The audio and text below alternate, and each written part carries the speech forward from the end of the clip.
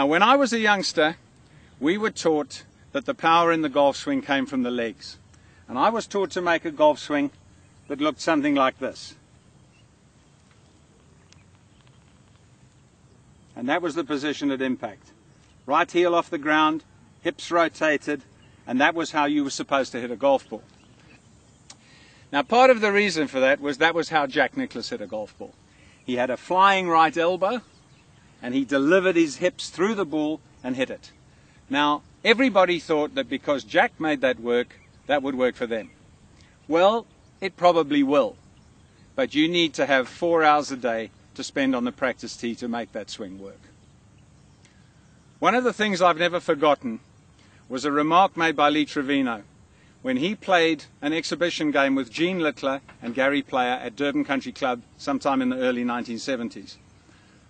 I went to go and watch, and while they were warming up, two of them would be hitting balls, and one of them would have the microphone and would be talking to the crowd.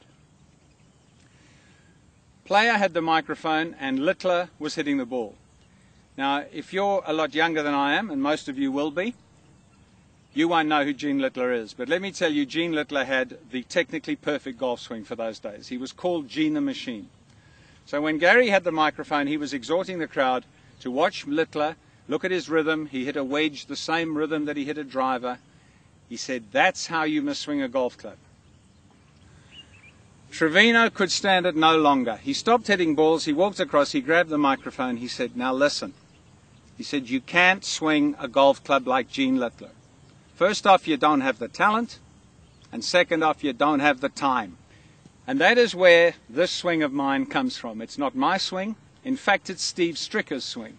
It's exactly how he swings. And considering that he's gone from 337th in the world to second in just over three years, tells me that this swing works. Let me show you the difference between the way people think you should swing, the way some of the pros swing, and the busy man's golf swing.